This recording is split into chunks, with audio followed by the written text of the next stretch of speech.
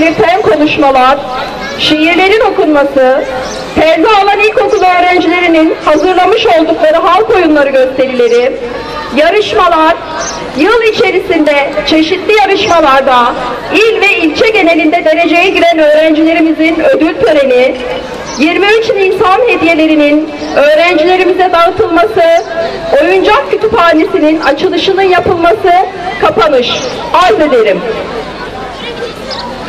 Şimdi sizleri Ulu Önder Mustafa Kemal Atatürk ve ebediyete intikal etmiş tüm şehitlerimizin manevi huzurunda bir dakikalık saygı duruşu ve ardından İstiklal Marşı'nı okumaya davet ediyorum.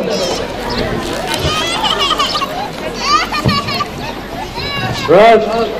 Hazır. Dikkat.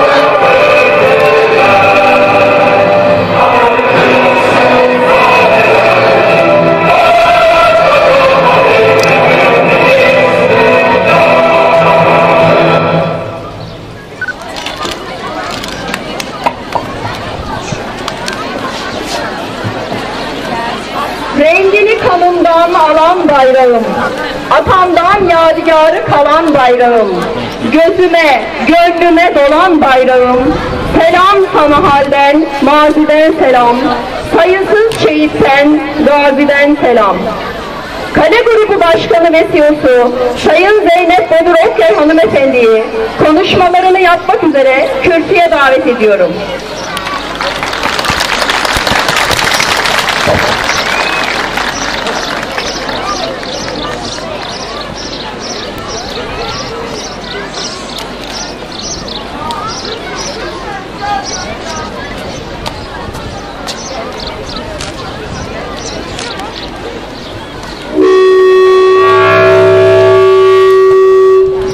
Da, bu da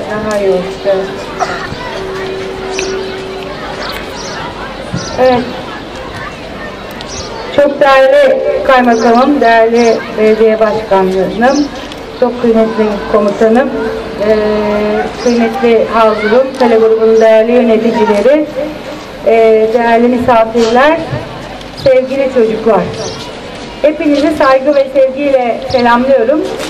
Bugünkü 23 Nisan eee da Terzi alandaki yap- yaptığımız bu buluşmaya hepiniz hoş geldiniz.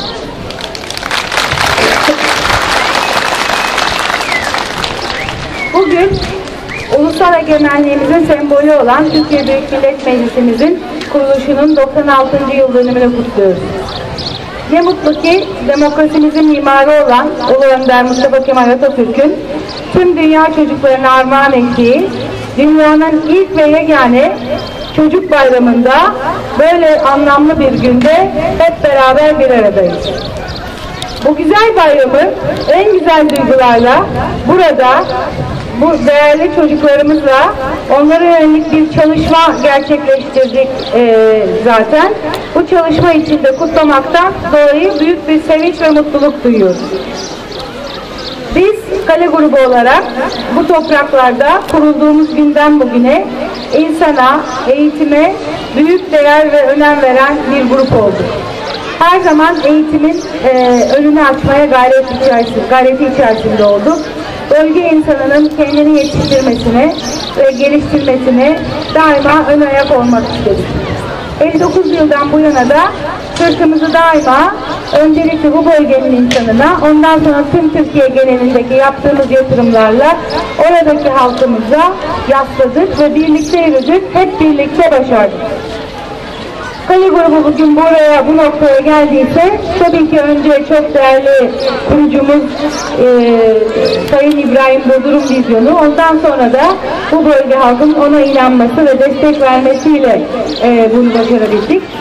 O yüzden de bugün e, ve bundan sonra da geçmişte olduğu gibi bu bölgeye yaptığımız katkılar, bu bölgenin dokusuna yaptığımız yatırımlar e, hep devam edecek. Kale Seramik Vakfı'nı ise 1989 yılında kurduk. Kale Seramik Vakfı aslında Kale grubunun yıllarca e, yaptığı e, her türlü e, sosyal sorumluluk projesi, sosyal dokuya yaptığı yatırımların aslında bir çatı altında toplanması e, adına kuruldu. Ve Kale Seramik e, Vakfı bugün e, Türkiye'nin birçok yerinde özellikle de bu bölgeden gençlerimize ciddi anlamda burs vermekte. Onların eğitim hayatına e, yetişmiş birey, birey olarak topluma katkı vermesine e, hizmet etmekte, destek olmakta. Son 6 yılda bugün e, verdiğimiz burs sayısı bini aştı. Son 6 yılda yürüttüğümüz ilk işim okullarda değişim projesi kapsamında da 18 ilde 55 okulu yeniledik. Toplamda 2843 öğrenci hijyen şartlarında eğitim görme, hijyen şartlarında e, gereksinimlerini karşılamaya, e, karşılama adına imkanlara kavuştu. Kale grubu olarak e, taşıma çeşitli yerlerde ama ağırlıklı olarak gene bölgemizde 19 bina ve tesis kazandık. Bunların büyük bir kısmı eğitim kurumları e, olmak üzere e, tabii ki e, dini e, binalar, e, topluma çeşitli noktalarda dokunan e, eserlere e, ön ayak olduk, yaptık. Çanakkale 18 Mart Üniversitesi'ne bölgemizin üniversitesi olması hasebiyle daima destek olma içinde, gayret içinde olduk. Ee, bunun yanı sıra tabii ki Türkiye'deki diğer önemli üniversitelerimize Boğaziçi'ne, İTÜ'ye başta olmak üzere daima örnek işbirlikleri içinde olduk. Onlarla ortak projeler geliştirdik. Bu yıl 18 Mart'ta e, Çanakkale 18 Mart Üniversitesi'nde İNO kampüsü açarak çocuklarımızın yenilikçi düşünme ve hayata geçirme bu fikirlerini, ideallerine önemli bir katkı verdik. Biz bu e, çerçevede, bu bölgede İbrahim Budur gibi insanların sayısının artmasını hedefliyoruz. O nedenle İbrahim Budurların sayısı arttıkça Türkiye'de girişimci sayısı artacak ve istihdam da ciddi anlamda e, tabii ki artacaktır. Var olan işletmelerin istihdamı arttırması günümüzün ekonomik koşullarında, rekabet koşullarında oldukça güç. O nedenle yeni işletmelerin, yeni girişimlerin açılması ve oranın istihdama katkıda bulunması çok önemli. İnokampüsü böyle bir e, aslında düşünceyle hayata geçirdik. Bölgemizin insanının yenilikçi fikirlerine ön ayak olmak amacıyla bunu başlattık. İnşallah 18 Mart Üniversitesi'nin bize verdiği e, merkezde de e, İbrahim Uğur Girişimcilik Enstitüsü'nü önce restorasyonu tamamlayıp tarihi bir binayı hizmete sokmak ardından da bu girişimci gençlerimizin fikirlerini yatırımcılarla buluşmak üzere Kuluçka Merkezi'ne hayata geçirmeyi hedefliyoruz. Biz bu ülkenin iyi eğitim almış yurtsever çocuklarımızın omuzlarında yükseleceğine inanıyoruz. Çocuklarımızın okullarında mutlu olması, her gün artan bir şekilde okula gitme çabasına kavuşması, okul koşulları iyileştirilmiş mekanlarda eğitim görmesi, gerçekten öğreten ve aynı zamanda öğrendirerek, yaparak öğreten okullarımızın sayısının artmasının önemli olduğunu e, düşünüyoruz. bugün de burada yine böyle bir projenin başlangıcıyla e, için bir aradayız. Yine bu projenin başlangıcını bölgemizden ve bizim de belki en çok çalışanımızın olduğu Terzi Alan Köyü'nden başlamak istedik. Biz daha önce de bahsettik. Biz daha önce de bahsettim. İlk işim okullarda değişim diye 6 yıl e, boyunca süren bir proje yaptık. Türkiye'nin dört bir yanında 55 tane okula e, hijyen şartları sağlanmadığı için, tuvaletleri kötü olduğu için çocukların hastalandığı ortamlarda kurtarmak için bir çalışma başladık. Oralardaki tuvaletleri kiminde sadece bir delik vardı, kiminde dışarıda son derece uygunsuz şartlarda tuvaletler vardı. Bunları kız ve erkek çocuklarımız için ayırıp yeni binalar yaptık. Okulların ısınma problemleri vardı. Çoğu sobalıydı. Bunları izolasyona kavuşturduk. Ondan sonra da grubumuzun içerisinde kurduğumuz sosyal kulüplerden biri Sosyal Yardım Kulübü. Ee, dolayısıyla onların da destekleriyle o çocuklarımıza her türlü eğitim ve ekipmanını hazırlayarak giderken bunları da götürdük. Bu bence 360 derece topluma değen bir proje. Hem bizim çalışanlarımız katkıda bulundu, hem e, okullarımızın şartları iyileşti, hem de bizim yetiştirdiğimiz Kale Seramik Vakfı üzerinden ve e, meslek kurslarında yetiştirdiğimiz o ustalarımız Milli Eğitim Bakanlığı ile birlikte bir projeyi gerçekleştirip ve ilk projelerini diploma almak üzere bu okullarda yaptılar. Dolayısıyla dört bir yanından projeyi birbirine bağlayıp 360 derece bir e, anlayışla e, bu projeyi yaptık. Şimdi bu 55 okulu 6 yılda tamamladık. Şimdiki hedefimiz bu 55 okulu tekrar başka ihtiyaçları için yeniden bu şekilde ilkokul, ilk isim okullarda değişip e, sloganı altında tekrar başka başka ihtiyaçlarıyla e, donatmak olacak. Bunun için proje geliştiriyoruz. Bugün burada sizlerle oyuncak kütüphanesi için bir aradayız. Çocukların en fazla öğ- oku- ö- eğlenerek öğrendiklerini e, eğitimciler söylüyor. Ben de 9 yaş bir çocuk anası olarak çocuğumun gerçekten öğrenerek, dokunarak, ku- kurcalayarak, bozarak, deneyerek, kendisi yaparak öğrendiğini bizzat şahidim. O nedenle okullarımızda oyuncak kütüphanelerinin olması, kitap kütüphanelerinin olması kadar önemli diye düşünüyorum. Yeni yüzyıl, yeni yeni sanayi devrimi e, mutlaka e, yeni bir e, girişimci, yeni bir çalışan profili bize dayatıyor. O ne? Meraklı insan, tutkulu insan. Dünyada artık her şey iletişim, e, internet, Facebook hepiniz kullanıyorsunuzdur eminim. En ücra köşelerde bile var. Ama bunun ötesinde iletişim çağrı artık her dünyanın her tarafı birbirine bağlandı. O yüzden meraklı çocuklar, tutkulu çocuklar yetiştirirsek geleceğimizin garanti altında rekabet edebileceğimiz güçlü yarınlara yelken açabileceğimiz bir Türkiye oluşturacağımızı düşünüyoruz. İşte bu e, bakış açısıyla İstanbul Gençlik Platformu'nun yine bir işbirliği yaptık. İstanbul Gençlik Platformu son derece e, benim önemsediğim bir e, sivil toplum kuruluşu. 18 yaş altı çocuklardan oluşan bir sivil toplum kuruluşu. Kendilerini bana eski valimiz Sayın Hüseyin Avni Mutlu İstanbul valimiz tanıştırmıştı görevdeyken ve onlarla tanıştık. Onlarla bir protokol yaptık. Onların hayallerine ortak olma protokolü yaptık kale grubu olarak. Daha sonra birbirimizi o kadar sevdik ki kale grubunun aslında ilk merkez olan Karaköy'deki binada kendilerine ben bir yer verdim. Bina bedel, orayı kullansınlar ve topluma faydalı bireyler olarak sivil toplum projeleri yapsınlar diye.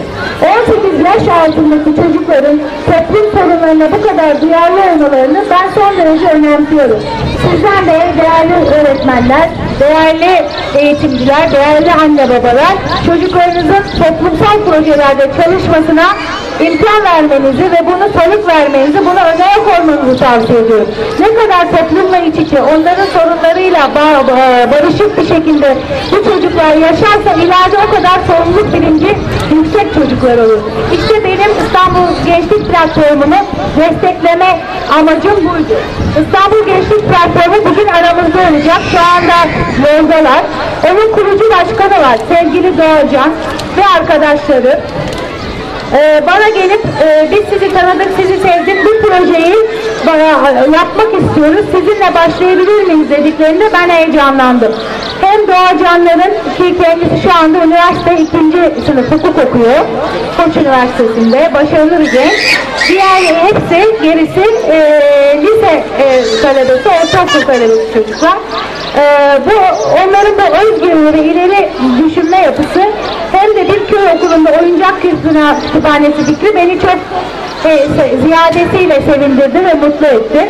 Ülkemiz gençlerinin bizlere sunduğu böylesine yaratıcı ve başarılı projeleri desteklemekten de büyük bir mutluluk duyuyoruz. Gençlerimizin arkasında veya önünde olmaktansa biz kale grubu olarak onların daima yanında olmayı istiyoruz. Böyle bir proje geliştiren, topluma fayda yaratmayı düşünen bu gençleri projelerini gerçek, gerçekleştirmek, onların bu hayallerini e, öne koymak bizler için de kıymetli bir tecrübe oluyor. Onlar bizden öğrendikleri gibi biz de onlardan öğreniyoruz. İşte bugün oyuncak kütüphanesini Çan Terzialan köyünde kurmak için buradayız. İnşallah bu okulların sayısını arttırılması için gayretli olacağız. Bu 55 okula bu oyuncak kütüphanesini taşıyacağız. Ondan sonra da daha yeni projelere inşallah hep birlikte İstanbul Gençlik Platformu'yla birlikte yelken açacağız. Pırıl gençleri bu projeyi bırakmaya da grubu olarak hiçbir e, niyetimiz yok. Bundan sonra da benzer çalışmalarda desteklerimiz ve gençlerle olan ilişkilerimiz kale grubu olarak artmaya devam edecek. Şimdi e, kale grubunda bursiyerlerimizin e, ve Doğa Canların İstanbul Gençlik Platformu'nun katılımı ile de bir mentor menti programı da başlatıyoruz.